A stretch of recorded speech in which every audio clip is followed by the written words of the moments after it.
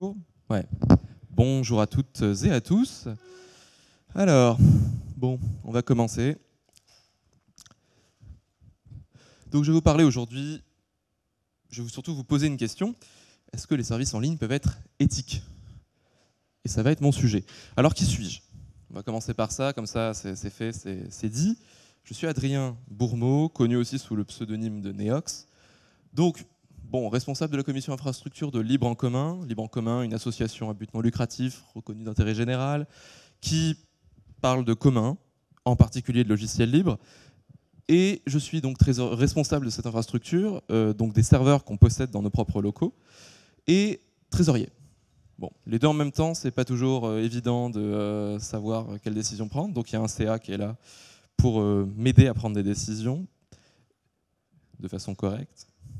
Et en fait, généralement, je vais plutôt leur demander et puis ils vont décider pour moi. Je suis aussi mainteneur de GNU Boot. Alors GNU Boot, c'est un BIOS, une distribution de BIOS libre.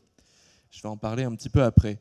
Et je suis également membre de la Free Software Foundation et de son comité Libre Planète et puis de la XMPP Standards Foundation. Ça fait un peu, un peu beaucoup de trucs, mais en fait, il y a pas mal de choses à faire. Voilà pour les présentations. Donc, moi, mon sujet aujourd'hui, ça va être d'essayer de vous introduire aux enjeux de l'hébergement éthique, des problèmes sur le logiciel, et puis d'aller un peu plus loin en parlant de confiance. Donc, s'il veut bien passer, est-ce que j'ai une souris présente au bon endroit? Voilà, c'est parti. Donc j'ai commencé à vous parler de capitalisme, de surveillance. Donc la notion de surveillance, elle apparaît à l'époque de l'art de la guerre, ce fameux écrit de Sun Tzu, qui décrit euh, une surveillance de la population déjà, mais réservée aux États.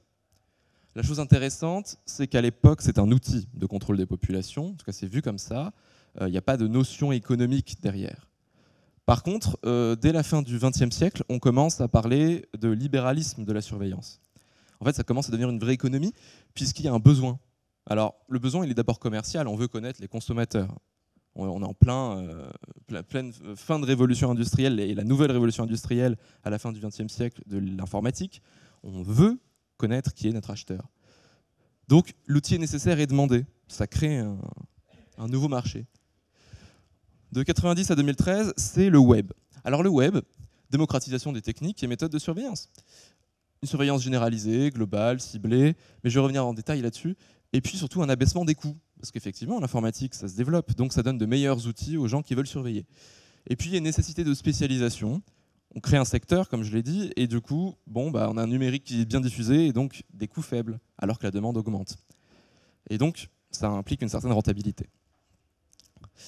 Alors, les modèles économiques respectables, il y en a plein, hein, des modèles dits respectables, fondés sur le capitalisme de surveillance. Euh, la publicité en ligne, bon, Google, Yahoo, etc., qui ont tout de suite indiqué que leur modèle économique était basé sur les données personnelles. Les infomédiaires, DoubleClick, c'est le plus connu, euh, c'est celui donc qui, une régie publicitaire qui vend des publicités à des acteurs qui vont ensuite les diffuser ou les afficher. Des distributeurs comme Amazon La Redoute qui clairement euh, le disent pas clairement, mais en fait leur gros de leur chiffre d'affaires c'est pas les ventes d'objets, euh, c'est pas non, c'est clairement la revente de données personnelles. Et puis donc les régies communautaires, ça c'est un peu plus compliqué euh, à, comprendre pour certains. En fait, le problème c'est que Facebook, X, Tinder, etc. Euh, vendent plutôt un service. Mais en fait, en échange, récupèrent les données. C'est une sorte d'accord implicite. Vous payez avec vos données personnelles. Et puis, les hard data, ça c'est encore plus euh, sympa. ce sont bah, des sociétés qui vont vous vendre du matériel qui est fait pour vous espionner en échange d'une assurance ou quelque chose comme ça.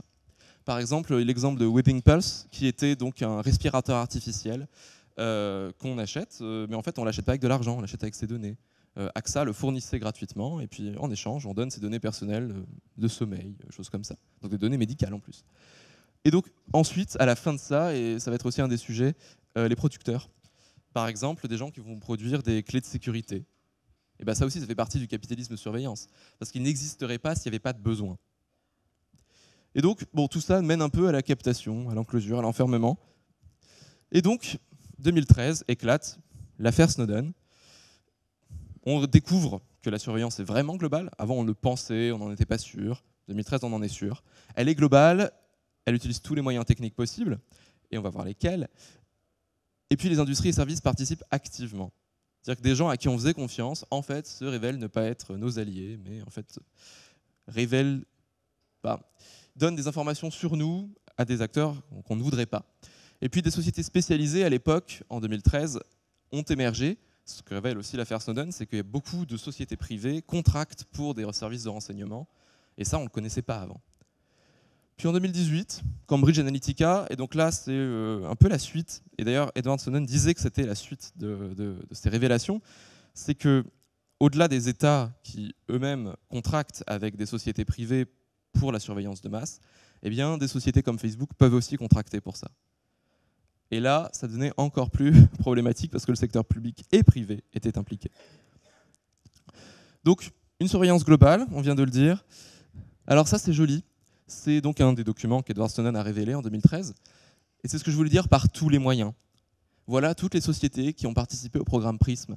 Alors PRISM, c'est un programme de la NSA euh, dont le principe était que chaque constructeur, chaque euh, fournisseur d'accès transmet ces informations à la NSA sans aucune limite, en accès direct. Hein, basiquement, ils les transmettent parce qu'ils donnent un accès à la NSA et la NSA vient servir. Tranquille. Et donc, bah, les premiers à avoir signé, c'est Microsoft. Les tout premiers. Euh, Yahoo ensuite, Google, Facebook, Paltalk, YouTube, Skype, AOL, Apple en 2012. Donc euh, quand Apple euh, vous dit nous, nous, tenons à vos données personnelles, nous tenons à votre sécurité, on y croit. Vraiment, on y croit. Ça, c'est une carte. Une carte qui nous montre la surveillance de masse généralisée. Plus c'est rouge, plus la surveillance par la NSA ou d'autres services de renseignement est forte. Bon, en France, on est en vert clair. C'est pas bien. C'est pas génial. En fait, l'Afrique, euh, continent africain, en généralité, si je ne considère pas les pays en guerre, euh, se porte mieux que nous. Bon, les États-Unis, c'est quand même pire que nous. On a de quoi relativiser. Mais voilà, même en France, même en France, on a une surveillance de masse euh, qui est active et, effective. Alors cette carte, les sources de cette carte, c'est Wikileaks, hein, basiquement. Donc, bah, je vais essayer de vous parler des problèmes de logiciels, parce qu'en fait, c'est un peu lié. Alors, avant de commencer, j'aimerais rappeler que tout ce que je vais dire ici ne concerne que l'hébergement. Pourquoi? Parce que je vais dire des choses qui, pour des gens normaux, des utilisateuristes, euh, ce ne serait pas forcément acceptable, ce ne serait pas forcément une possibilité. Euh, c'est pour ça que la FSF, euh, en 2014, a créé une campagne qui s'appelle Freedom Ladder, l'échelle de la liberté, qui consiste à dire que les gens doivent et surtout peuvent aller vers le libre étape par étape et comme ils, ou elles le peuvent. C'est important parce que effectivement, euh, si je rencontre quelqu'un sur mon stand tout à l'heure, je ne vais pas lui dire tu as un Apple? Très bien, je vais remplacer ton Apple par un téléphone qui n'a qu'une distribution GNU Linux et tu ne pourras rien faire dessus. Bah oui, ça ne marchera pas, c'est pas possible. Il faut être réaliste et les gens doivent aller étape par étape à leur rythme. Et c'est ça qui est important. Mais là, ici, moi, je ne parle pas de ça. Je ne parle pas des gens, je parle de l'hébergement. Et je considère, et nous considérons à Libre en commun, que l'hébergement, c'est une responsabilité supérieure. Parce qu'on traite les données d'autres personnes, et pas forcément seulement les nôtres. C'est pour ça que je voulais quand même faire un rappel, parce que ce que je vais dire n'est pas forcément praticable pour tout le monde. Mais nous pensons que des hébergeuses doivent essayer d'y penser. Donc j'ai commencé par parler du logiciel en tant que service. Alors vous voyez, le logiciel, c'est un petit peu comme si vous imaginiez bah, euh, une sorte de magasin. Vous avez un magasin, et puis vous allez vous servir. Sauf que l'endroit où vous allez vous servir, il peut vous expulser à tout moment. L'objet que vous avez dans les mains peut disparaître à tout moment, avant que vous l'ayez acheté ou même après que vous l'ayez acheté. Et puis, euh, également, on peut vous refuser l'accès au magasin le lendemain, ou maintenant, ou n'importe quand. Et eh bien ça, c'est le problème du logiciel en tant que service. C'est-à-dire que dès que vous utilisez un service qui est en ligne, qui n'est pas sur votre ordinateur, ça veut dire que ce logiciel il est soumis à des aléas, il peut être coupé, ne pas l'être, vous pouvez avoir un accès refusé, et vos données peuvent disparaître à tout moment. Donc c'est un peu une cage dorée. C'est pour ça qu'on met cette image. Donc le logiciel en tant que service, euh, ça a d'abord été théorisé par Alexandre Oliva, puis ensuite Richard Stallman. Donc Alexandre Oliva, euh, une personne importante, c'est la personne qui a créé la FSF Latin America, euh, qui a créé Linux Libre aussi, et qui décrivait ce problème-là, donc qui en fait est une réalité bien réelle, puisque ça s'applique à tous les logiciels en tant que service. Et malheureusement, euh, beaucoup de systèmes d'exploitation commencent à se baser aussi sur ce modèle. Par exemple, vous avez euh, Apple qui fonctionne sur ce modèle. Vous avez des applications qui peuvent disparaître à tout moment. Ils peuvent les désinstaller à distance, ils peuvent vous couper l'accès à votre appareil, ça est déjà arrivé, et ils peuvent vous couper l'accès au store, au magasin d'applications. Microsoft va aussi vers ça. C'est leur objectif avec le Windows as a Service qui doit commencer l'année prochaine ou l'année d'après. Et puis, euh, nous avons le problème aussi de Google qui fait déjà ça avec ses Chromebooks. Alors, dans ces cas-là, effectivement, l'utilisateuriste ne contrôle pas le fonctionnement. Ne contrôle pas le fonctionnement parce que de toute façon, c'est pas chez elle, chez lui, euh, c'est à distance. Et puis, on ne contrôle pas l'accès. On ne sait pas si on a le droit d'accéder ou non, et on n'est pas sûr que la fois d'après, on aura accès. Et on ne contrôle pas les données puisqu'elles ne sont pas là. Elles ne sont pas sur notre machine, elles sont à distance aussi. Et ça, c'est ce que la FSF appelle le Software as a Service Substitute, logiciel en tant que substitut de service. Alors, les données ne sont pas sur l'ordinateur téléphone, je viens de le dire. Donc, si le programme ne démarre pas, bah, les données, ne sont pas là, perdues. Vous avez des sauvegardes, d'accord, mais comment je décode les sauvegardes? Je dois déployer un serveur? Pas évident. Et est-ce que j'ai accès aux sauvegardes? C'est encore un autre sujet. Le serveur peut décider de me bloquer, peut me bannir aussi. Pas évident. Aucun recours possible généralement, puisque de toute façon, il n'y a pas d'entité juridique qui va pouvoir statuer sur un tel sujet. Et les données sont perdues. Sans Internet, impossible d'utiliser un tel service. Et puis, bah, c'est un contrôle sur moi, de toute façon. Un bon exemple, quand euh, Amazon, sur ses tablettes de lecture, avait supprimé le livre 1984 sans demander rien à personne. Alors officiellement, c'était une erreur officiellement.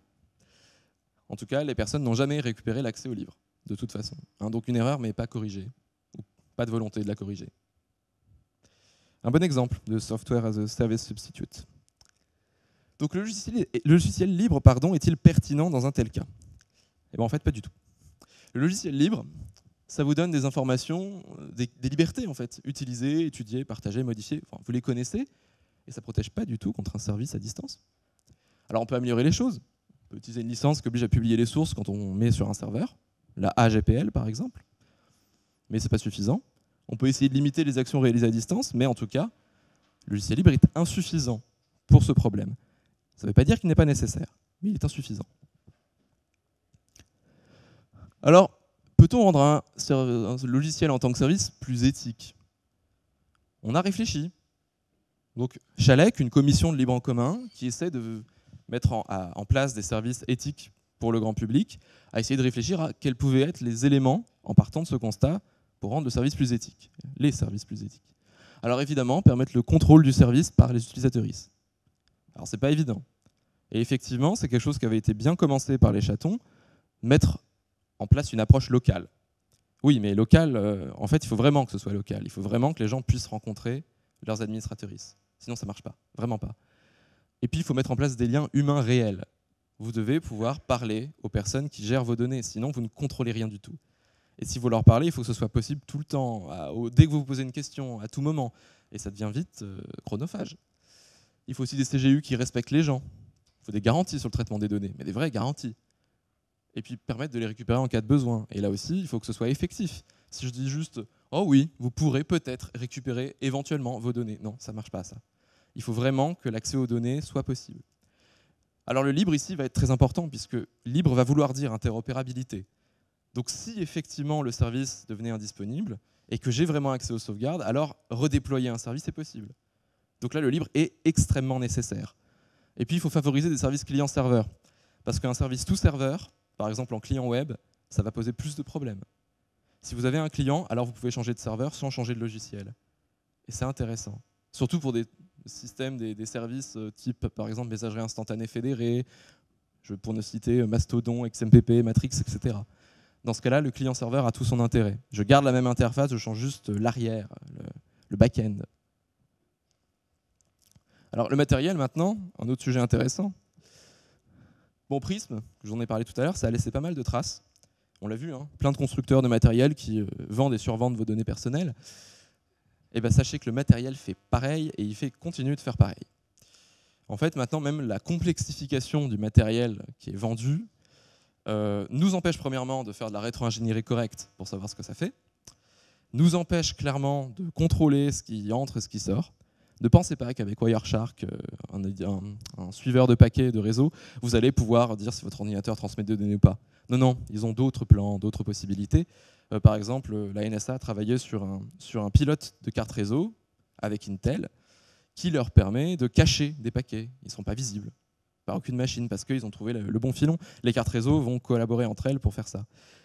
Du coup, ça pose des problèmes. La complexité exponentielle, on n'arrive pas à suivre. Et puis en plus, à cause de cette, de cette, segmentation, parce que le matériel fait de plus en plus de choses, votre distribution GNU Linux fait de moins en moins de choses. En fait, votre noyau, aujourd'hui, il est relégué à exécuter des primitives qui ont été faites par le constructeur du matériel et le programmeur de votre BIOS. Alors effectivement, c'est bien, c'est libre. Si votre BIOS n'est pas libre, en fait, euh, bah, l'ordinateur, euh, il est contrôlé par le BIOS, majoritairement, et donc par le constructeur. Donc BIOS, UEFI, EC, le EC c'est Embedded Controller, c'est un contrôleur qui sert à gérer, l'alimentation, le clavier, des choses comme ça. Et puis vous avez des pilotes de périphériques aussi, et des microcodes, de plus en plus, évidemment non libres. Cela aussi, accès noyau, capacité de contrôler votre machine. Donc évidemment, vous n'avez plus le contrôle. Et donc dans la, révélation du jour, parce que c'est bien de faire des petites révélations, dans votre processeur, il y a un autre processeur. Alors ça, c'est rigolo. Enfin, rigolo. Non, ça n'est pas du tout, mais c'est très drôle pour moi, euh, qui euh, suis un peu architecte des processeurs. Euh, vous avez en fait dans votre processeur Intel ou AMD, hein, c'est pareil, un second processeur. Alors pour Intel, c'est un cœur ARM dans les processeurs Intel x86. Et euh, dans les processeurs AMD, on ne sait plus exactement ce que c'est, en tout cas moi je ne sais plus, quelqu'un doit le savoir. Euh, ces processeurs-là servent à contrôler le comportement du processeur. Un processeur pour contrôler le processeur, génial. Euh, Intel ME, il s'appelle, chez Intel, AMD PSP chez AMD. Le, principe, en fait, c'est qu'il y a des backdoors avec ça.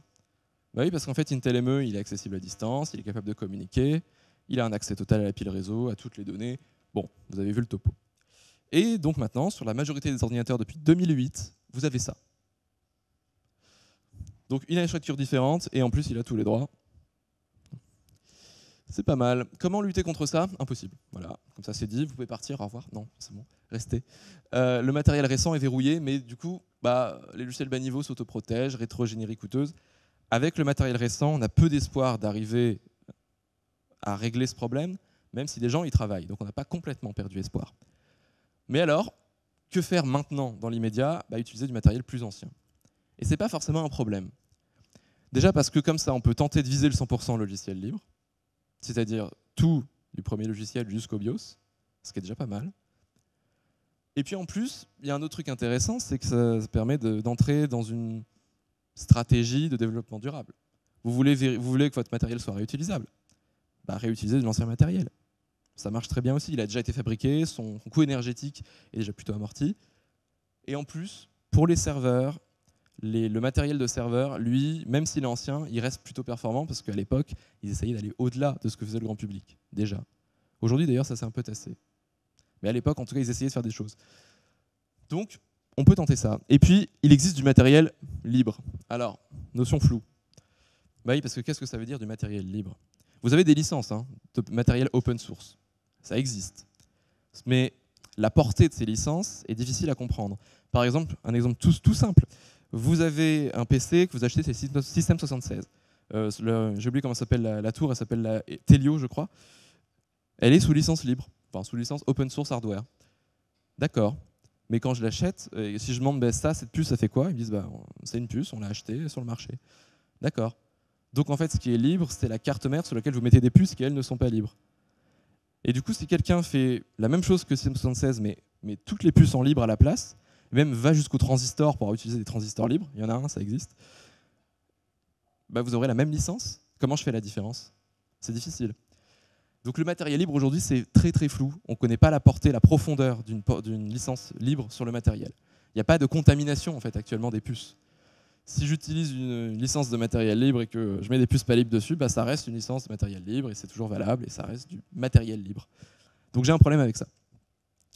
Et en plus de ça, une réponse à des, personnes qui m'ont parlé de ça, euh, vous avez du matériel libre, d'accord, c'est pas mal, mais s'il y a besoin de logiciels privateurs dessus, alors là on a tout perdu. Et c'est le problème du système 76 aujourd'hui.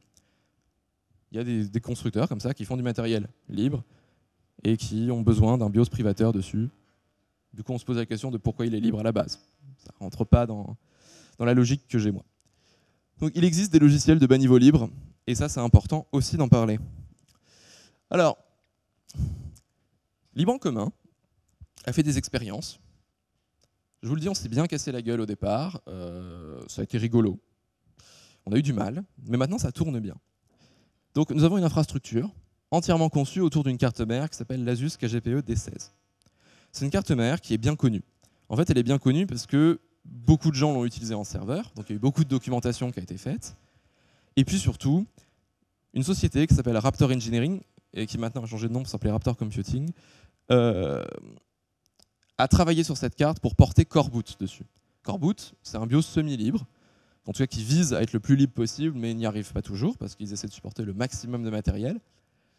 Mais puisque c'est supporté par Core Boot, d'autres projets ont pu faire un support plus précis là-dessus, et notamment GNU-Boot, qui était un BIOS libre, une distribution de BIOS libre, supporte cette carte mère. Et donc cette carte mère est capable de fonctionner avec 100% de logiciels libres, y compris le BIOS. Le BIOS est complètement libre. En plus de ça, il n'y a pas d'AMD PSP, il n'y a pas d'Intel ME dessus. Donc pas de possibilité d'accès à distance. Et puis en plus, il y a des travaux en cours dans les universités françaises. Sachez que le LIPSIS, le laboratoire d'informatique de Paris 6, travaille sur la carte. L'objectif étant d'améliorer l'implémentation actuelle du BIOS et de la rendre compatible avec des usages plus modernes, plus récents, des protocoles qui sont utilisés normalement dans le matériel. Et puis, avec cette carte-là, on utilise peut-être des routeurs plus libres. Alors au départ, nous, on a testé le Turisomnia. On était plutôt content parce qu'il était sous licence matériel libre, une SHW. Ouais, sauf qu'il y a besoin de logiciels pas libres dessus. Ah ouais. Alors on a discuté avec les constructeurs, c'est un, c'est un, opérateur de réseau, je crois, oui, tchèque, qui, crée ce réseau, qui, crée pardon ce routeur. Et on, a discuté avec eux, ils nous ont dit bah oui, oui, c'est vrai, mais en fait, c'est parce qu'on utilise une carte Wi-Fi dedans qui, elle, a besoin de ces pilotes privateurs. Oui, d'accord. Donc matériel libre, mais avec des composants pas libres dedans. Voilà, d'où toute la difficulté que j'exposais tout à l'heure. Donc on est en train de migrer, on est en train de changer de, routeur, parce que bah, ceux-là ne sont pas suffisamment libres pour nous. Et puis, parce qu'un logiciel non libre dans un routeur, ça implique beaucoup de choses. C'est pas juste pour être parfaitement libre et pour être fier de l'être qu'on fait ça c'est qu'un pilote non libre qui gère le réseau, quand même, ça a quand même une implication énorme. Ça veut dire que tous vos paquets peuvent être fuités ailleurs. Et vous pourriez même avoir des attaques MITM, euh, man in the middle. Vous pourriez avoir du déchiffrement euh, de vos, euh, de vos communications chiffrées en TLS, par exemple, sur le routeur. Surtout si vous utilisez le routeur comme reverse proxy, comme nous on fait. Oui, ça peut avoir des grosses implications. Donc non, ne pas utiliser du, microcode non libre ou de pilote non libre dans un routeur. Pas bonne idée. Donc on migre vers Netgear, des Netgear WNDR, qui sont sous LibreCMC. Alors LibreCMC, c'est une distribution spécifique pour les routeurs et qui est 100% libre. Pour la connexion Internet, on a décidé d'utiliser FDN. On aurait pu faire mieux, on aurait pu remplacer FDN, euh, mais bon, c'est pas la peine, parce que FDN, euh, on les connaît. En, utilisant FDN, on est membre de FDN, donc on peut aussi vérifier ce qui se passe à FDN. Et puis, de toute façon, euh, comme ça, on aide à la mutualisation en ne faisant pas un doublon de ce qui existe déjà. Et le contrôle sur tout le matériel gérant les données, eh ben, on arrive à l'avoir. Par contre, sur le réseau lui-même, on a FDN, mais il y a des câbles, c'est pas à nous. Donc ça, ça restera toujours un point noir. Vous avez euh, des câbles qui sont gérés par Orange, SFR, etc., selon la localisation. Donc ça, on ne le gère pas. Mais au moins, c'est censé être sous chiffrement, donc on n'arrive pas à le voir. Donc une question de confiance maintenant. Parce que là, c'est bien beau ce que je dis, mais on doit déjà parler de neutralité. Parce que c'est bien d'avoir une infrastructure sous 100% de logiciels libres, avec du matériel qu'on peut réparer, qu'on connaît bien. Mais bon, si je ne gère pas euh, ensuite mes services de façon neutre, ça ne marche pas. Donc effectivement, on parle de neutralité, une égalité de traitement de tous les flux. Évidemment, pas de discrimination, c'est évident, vous le savez tous.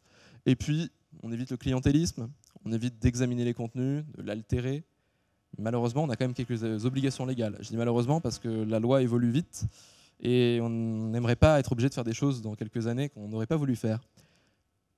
Malheureusement, bon, pour l'instant, en tout cas, les, exceptions qu'on a, c'est la modération du contenu. Ça, par contre, parfois, c'est quand même bien de le faire. On n'est pas forcément contre.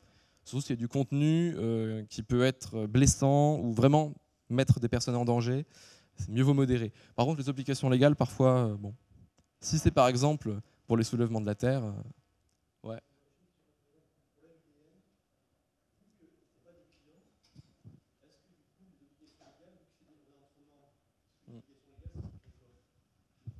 Ouais, alors la question c'est est-ce que euh, vu qu'on est membre de vu qu'on est tous membres de FDN, est-ce que les obligations légales s'appliquent? Oui. Ouais, mais l'État considère que oui. Et c'est pour ça qu'FDN paye la TVA. De toute façon. C'est considéré comme un service commercial, même si on est tous membres.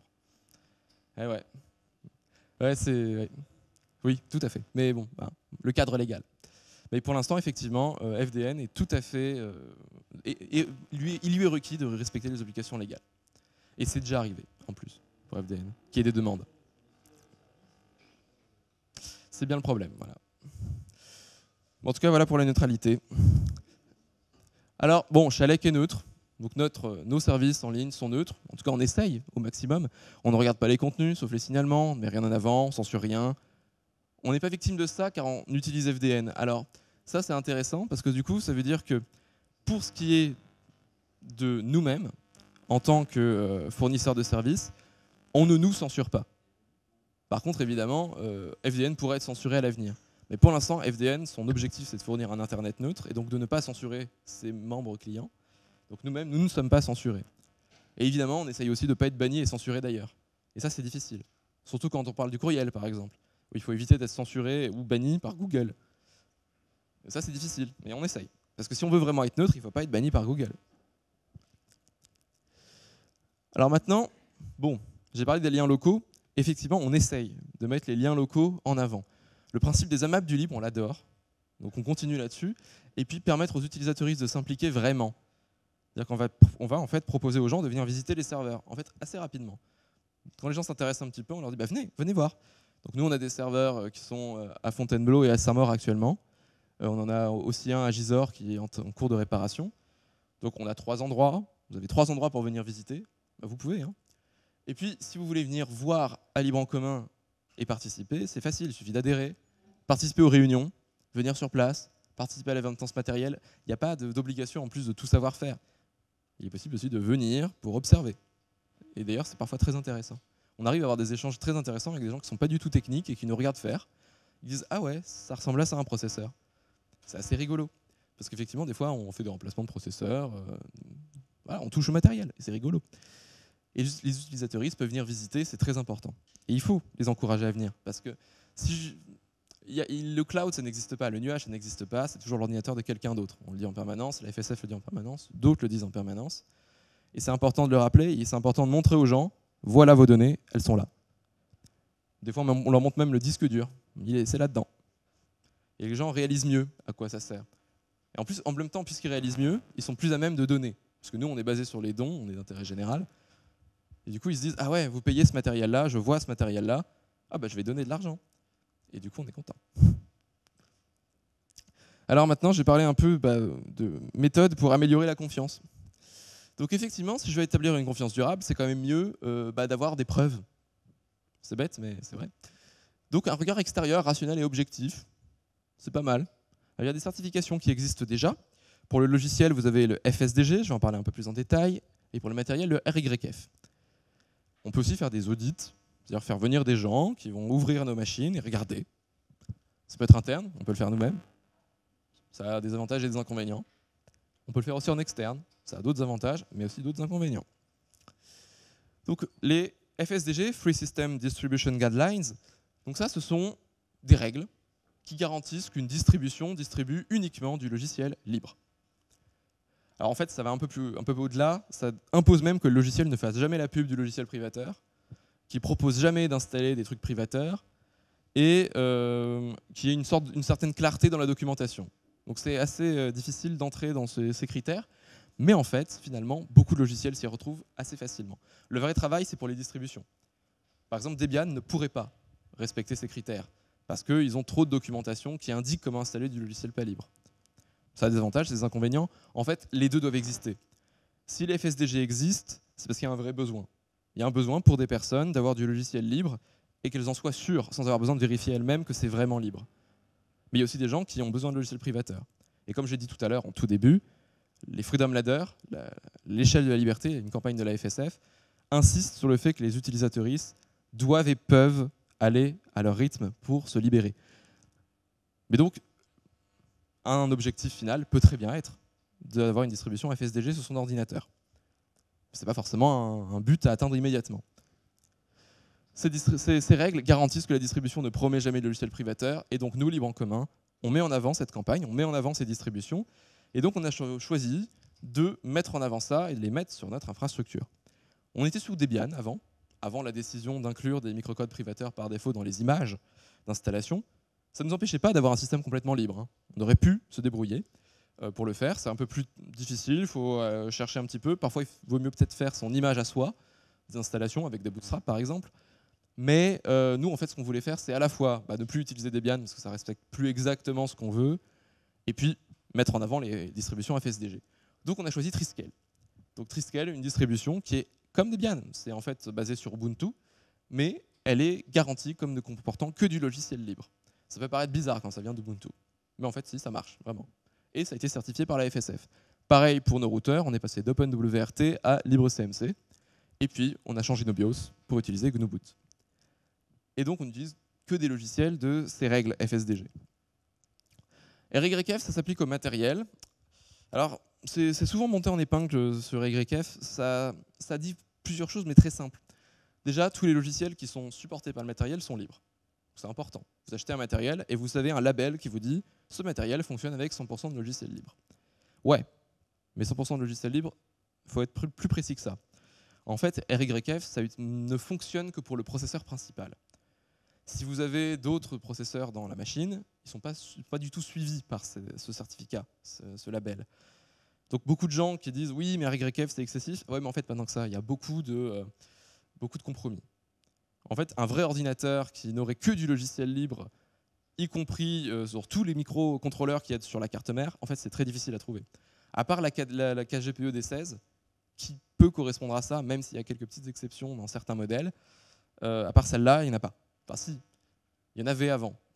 Certains ordinateurs avant que Intel soit hégémonique, donc euh, à l'époque où tout était libre et qu'il n'y avait pas de droit d'auteur sur le logiciel.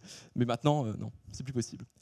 Donc, et en plus de ça, une autre limite, c'est que le matériel lui-même n'est pas libre. C'est bien, hein, vous avez un label qui vous dit qu'il n'y a que 100% de logiciels libres supportés, mais le matériel, lui, bah, vous n'avez pas les plans, vous ne savez pas forcément comment le réparer. Mais normalement, RYF impose que vous ayez des indications sur au moins quelques schémas pour pouvoir réparer ce qui est réparable. Mais ce n'est pas forcément complètement complet. Alors pour ça, bah, vous voulez chercher du matériel libre maintenant, en tout cas du matériel compatible avec le libre. Vous avez plusieurs possibilités. Vous pouvez déjà chercher sur ryf.fsf.org, qui recense tous les matériels qui ont été validés par la FSF, respectant les critères que je viens de décrire. Vous avez hnode.org, un excellent site qui décrit pour chaque matériel quelle année, en quelle année il a été fait, euh, quel pilote libre il supporte, et si oui ou non les fonctionnalités avancées sont supportées. Par exemple, si vous cherchez une carte graphique qui supporte que des pilotes libres, HNAD est fait pour vous. Il y aura la liste de toutes les cartes graphiques qui supportent 100% de logiciels libres. Et puis vous avez le fabuleux wiki LibrePlanet. Vraiment, il est génial parce qu'il y a beaucoup de gens qui y collaborent et qui vont, dessus, ajoutent leur matériel, ajoutent les connaissances qu'ils ont sur les matériels qui fonctionnent ou non. C'est un excellent outil pour choisir son matériel. Alors maintenant, la certification externe. Parce qu'effectivement, on en fait de la certification interne. Bon, on n'est que 4 pour le faire. On n'aura pas toujours le temps de le faire chaque année. Tout cas pour le matériel. Pour le logiciel, ça va, on peut aller assez vite puisqu'on utilise du FSDG, donc en fait on est sûr que déjà euh, on n'utilise que du libre. Par contre, si on voulait faire une vraie certification, il faudrait que des gens se déplacent, ouvrent nos machines, regardent. bah, c'est compliqué à trouver ça. Alors nous, on pourrait le faire. On pourrait le faire pour d'autres. Si on le faisait pour d'autres, ça permettrait une plus grande objectivité, ça améliorerait la qualité, c'est sûr, parce que des personnes dédiées viennent pour faire cet audit. Ça permet un plus grand recul aussi, parce que ce n'est pas vous qui avez mis l'énergie pour faire, le, dispositif, l'infrastructure. Donc vous êtes moins freiné par euh, oh là là, j'ai mis tant de temps à faire ça, je serais déçu que l'audit soit mauvais. Et ça pourrait être un biais, honnêtement. Et puis ça permet de fédérer les efforts. Si on fait ça à plusieurs, si plusieurs structures se mettaient à faire des audits externes d'infrastructures, ce serait pas mal. On mutualiserait quelque chose, on aurait peut-être des bases de connaissances communes, ce serait utile. Et donc, on pourrait faire ça. Mais qui pourrait le faire pour libre en commun alors qu'il faut une présence physique, du temps, des compétences? Je n'ai pas la réponse. Mais ce serait bien qu'on ait ça un jour. Voilà, donc pour conclure, malgré tout ce que j'ai dit, euh, qui paraît peut-être très sombre et, horrible, on a quand même de l'espoir. GNU Linux existe toujours. Il y a des aléas. Euh, Linux fait de moins en moins de choses. J'en ai pas parlé, mais Linux euh, n'étant plus libre, et maintenant on a un fork qui s'appelle Linux Libre, qui est géré par le projet GNU. On arrive quand même à s'en sortir. mais bon, voilà. Dans une période où tout se propriétarise un petit peu, dans l'esprit et dans l'essence, et dans certains projets aussi, c'est difficile de garder espoir, mais on y arrive, parce qu'on a des solutions. Donc maintenant, ce que j'aimerais, eh ben, c'est qu'on discute. Alors, je vais vous passer des petites références. Cette présentation sera évidemment disponible. Vous aurez tout ça sur notre site, quand il refonctionnera, parce qu'actuellement, il est en rade, mais ça va refonctionner ce soir. Et donc, merci de votre écoute. Ce fut un plaisir de parler, et je vais vous laisser parler maintenant. Si vous avez des questions, c'est à vous.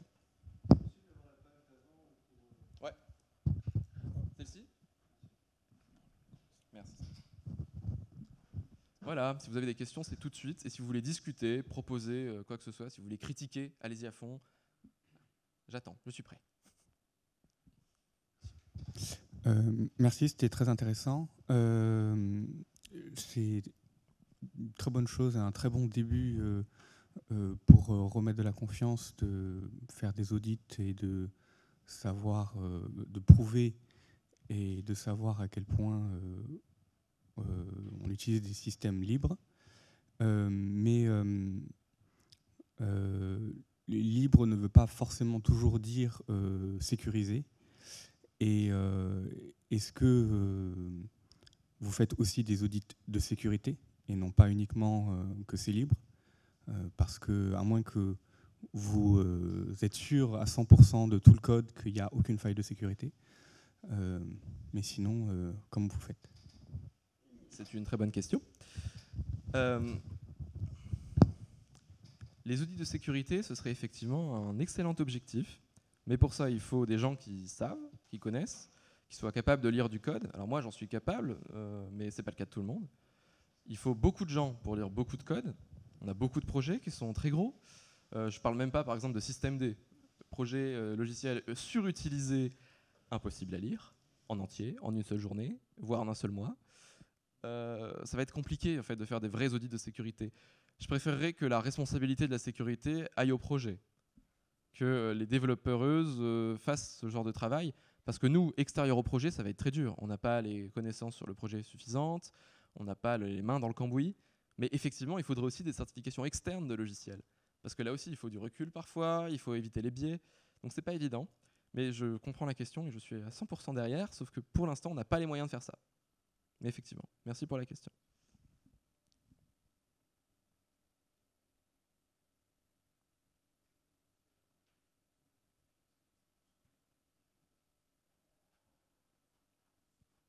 N'hésitez pas à intervenir. À donner vos avis personnels aussi, c'est très intéressant.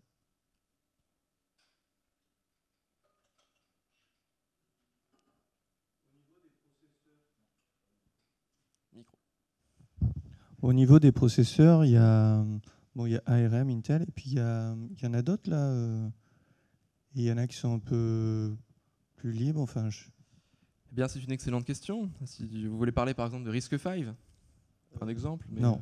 Ou Open Power, ou voilà, je ne sais pas.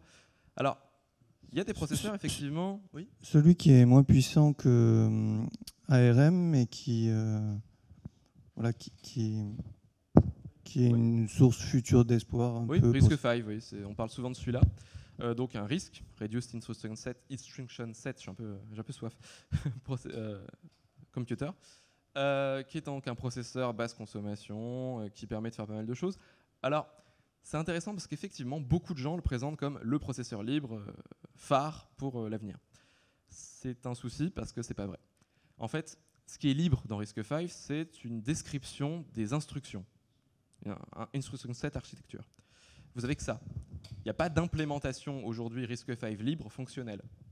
Donc je ne connais pas aujourd'hui de RISC-V sous licence libre fonctionnelle. N'existe pas. Alors effectivement, ce serait possible, puisqu'on a une ISA qu'on peut utiliser pour en faire un. Ouais, mais l'ISA, ça ne fait pas tout, c'est juste une liste d'instructions à supporter. Il y a tout le travail à faire derrière. Il n'existe pas aujourd'hui de documents, de, de plans du RISC-V libre. Donc il y a des sociétés, qui travaillent dessus. Il y a aussi des universités. Il faut savoir que le LIPSIS euh, à Jussieu à Paris travaille sur le sujet à essayer de faire un risque 5 libre, une implémentation libre, mais c'est pas fini, c'est pas fait, ça fonctionne pas. Donc oui, effectivement, on peut rêver qu'un jour le risque 5 pourra remplacer les Intel qu'on a dans les serveurs, mais voilà, c'est pas encore le cas. Et merci beaucoup pour la question.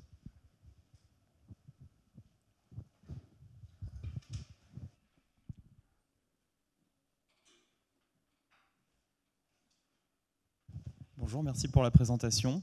Moi, une question que je me posais pour l'avenir, pour voilà, c'est que euh, les coûts de, fabrication en masse de puces sont tellement énormes et sont tellement euh, gérés uniquement par les entreprises qui n'ont absolument pas intérêt à libérer finalement leurs compétences dans le domaine. D'ailleurs, c'est inquiétant parce que les quelques personnes spécifiques qui ont des compétences qui nous permettent en fait de tenir toute l'infrastructure numérique, eh ben, elles travaillent pour du privé et on ne les connaît pas, pas réellement.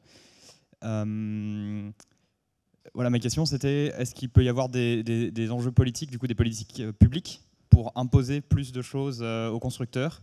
Comment, comment est-ce qu'on peut faire pour que finalement on ne dépende pas que de machines qui datent d'avant 2008 et qu'on puisse euh, à la fois garantir que les entreprises qui veulent faire leur beurre puissent continuer à, vivre et exister, ou alors changer complètement le monde? Enfin, question, question floue, vague. Non mais c'est très bien. Alors euh, juste pour euh, corriger un truc, c'est que notre machine, la KGPE DSS, ne date pas d'avant 2008, c'est 2011, par pitié. pas ce point-là. Mais voilà, bon, c'est euh, effectivement, on a ce problème-là. Mais en fait, le problème est plus large, et c'est pour ça que la question est large, c'est normal. Il y a des politiques publiques, on va déjà commencer par ça. Il y a une volonté européenne et française de refaire des fonderies. C'est le début. En fait, ils viennent de s'apercevoir qu'il n'y a qu'une seule formation en France, qui est capable de fournir les ingénieurs pour travailler là-dessus. Donc ils, se sont dit, ah oui, ça va pas. Donc maintenant, il faut en faire plus. Donc maintenant, il faut créer les, formations dans les universités et dans les écoles pour que les gens soient formés pour le faire. Donc je pense que d'ici 15 ans, on aura peut-être un, espoir d'y arriver. Euh, mais pour l'instant, ce n'est pas possible. Euh, il y a une volonté, mais voilà. Euh, pour ce qui est donc de créer des puces sur les coûts, c'était une discussion au Free Silicon Conference en juillet à Paris. Donc une grande, ouais, la réunion de plein de, gens qui font du matériel libre, euh, qui se réunissaient pour en discuter. Et il y a des espoirs, parce qu'on a de plus en plus de PDK, c'est-à-dire de méthodes de fabrication libres. Donc, en fait, il y a même des sociétés qui essayent de devenir compatibles avec le libre, avec le matériel libre, et de donner aux gens qui fabriquent du matériel des moyens de contrôler comment c'est fait. Donc, il y a aussi des avancées là-dessus, mais c'est pas assez. Il n'y en a pas assez qui font ça. En Europe, il n'y en a pas beaucoup. Euh, voilà. Donc c'est pas évident euh, de, répondre à ça. Il y a une volonté de, faire de la recherche dessus, mais ça c'est surtout les gens qui fabriquent du matos qui doivent regarder ça. Moi j'en fabrique pas vraiment, enfin je, suis formé en tant que concepteur de matériel, mais euh, c'est pas ce que je fais tous les jours. Donc euh, je peux pas répondre précisément parce que je suis pas là-dedans au quotidien. Mais merci beaucoup pour la question. C'était aussi un peu la question que je voulais poser, c'était élargir en fait. on se rend compte qu'il y a des problèmes de coûts, de propriété, de prédation. Et en fait, c'est un peu tout ça qu'il faut remettre en question. Et euh, là, on est, voilà, faut, prendre du recul et, voir qu'en fait, c'est, notre vision de la propriété, notre vision de la, qui est quasiment de la nature humaine et quel futur on veut pour l'humanité, qu'on est en train, quand on prend du recul, de se poser comme question. Et, euh, en plus, c'est ça, c'est à l'échelle, c'est pas à l'échelle même européenne, faut, faut, se la penser. Là, c'est à l'échelle mondiale, c'est quel homme, quel homme on veut demain en fait. C'est, là, on, quand on tire la ficelle à votre niveau, on en revient à cette question-là, quel homme on veut demain euh, et, c'est une vraie question politique et un vrai débat qu'il faut, faut avoir. Alors faire des fonderies, c'est bien, avoir le contrôle, mais voilà, c'est, qui, sommes-nous on, arrive rapidement à ce niveau-là et c'est un débat qu'il faudrait, je pense, je, poursuivre. Enfin, j'ai plein d'idées, mais pour l'instant, c'est très embrumé. J'aimerais bien. Euh. Euh, oui. Alors le problème mondial, euh, on en a déjà un premier, c'est que aujourd'hui, quasiment toutes les puces modernes, elles sont faites à Taïwan. Voilà. Courage. Euh, actuellement, on a la, Chine et les États-Unis qui se battent pour le truc. Puis on ne sait pas qui va gagner. Qui que ce soit qui gagne, le résultat sera le même. Hein. On n'aura plus accès à ça, de toute façon. Donc il faut déjà se tourner vers autre chose que les technologies les plus modernes, ça c'est clair. Il faut revenir à des technologies qu'on est capable, nous, de faire, et il y en a, qu'on savait faire en Europe et qu'il faut qu'on réapprenne à faire. Donc effectivement, ça pose la question de qui on est, ça pose des questions très philosophiques. Mais bon, moi je suis là, je suis plutôt très pragmatique et je suis pas philosophe. Donc ça va être difficile pour moi d'élaborer sur le truc que j'ai pas préparé du tout. Euh, mais moi, tout ce que je peux dire, c'est que si on reste factuel, on a des choses à faire au niveau matériel en Europe, en France, dans le monde aussi. Mais commençons déjà par nous-mêmes, projet de logiciel libre et projet d'hébergement, à faire ce qu'on peut faire nous. Voilà. Mais merci beaucoup pour la question.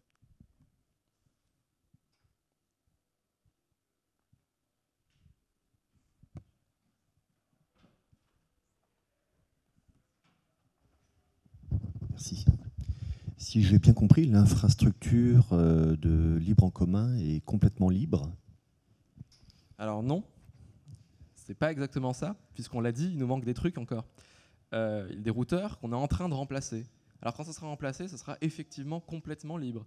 Mais il manquera toujours les câbles de réseau qui vont chez Orange et SFR, qui utilisent des serveurs qui ne sont pas libres. Euh, bon, on a toujours des difficultés peut-être à identifier tel ou tel matériel dans la chaîne d'infrastructure. Par exemple, les, ondu- les- les onduleurs qu'on utilise sur nos serveurs, clairement, ils ont des microcontrôleurs dedans et c'est pas libre ce qui tourne dessus. Et en plus, c'est des vrais processeurs avec des traitements de signaux euh, un peu compliqués. Donc, euh, ça fait des vraies choses. Ça ne traite pas des données. Donc, ce qu'on peut dire, en étant un peu sérieux, c'est que la partie traitement des données de libre en commun est complètement libre. Ça, ouais. Les serveurs sur lesquels sont les données personnelles, c'est complètement libre. Et il n'y a pas de porte dérobée. Voilà. Ça, on en est sûr. Pour l'instant. Jusqu'à ce que quelqu'un nous pirate et mette une porte dérobée. Merci. Comment pourrait-on euh, lancer un appel auprès de d'autres euh, structures en proposant de l'hébergement de données euh, dites des structures de logiciels libres, enfin supportant de logiciels libres, pour, créer une sorte de, je dirais, de bonnes pratiques, une sorte de collectif qui utiliserait ces bonnes pratiques On a déjà fait un appel à la FSF euh, qui ne voulait pas, jusqu'à assez récemment, euh, s'occuper d'hébergement.